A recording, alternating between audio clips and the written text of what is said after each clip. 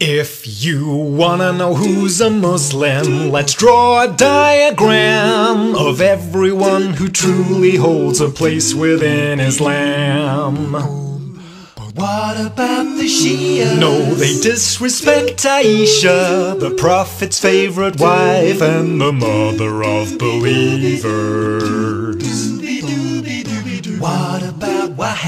No, have you seen how they behave? They smash up Mecca and they want to dig up Muhammad's grave.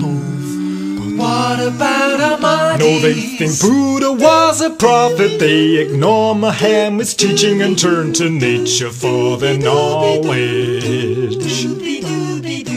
What about the Sufis? No, they belong in a funny farm. They spin and play their music on their flutes, and that's haram.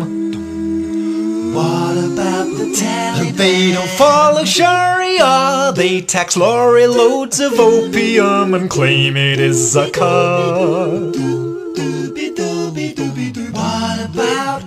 No, they spread a false belief. They torture and they slaughter when we know Islam is peace. What about marrying children or stoning women? No, if a man condones those practices, he's not a real Muslim. What about hadiths on amputation and beheading? Those are not authentic. Hadiths like that need shredding. What about the tafsirs that say death to all apostates? They have nothing to do with anything Islam advocates.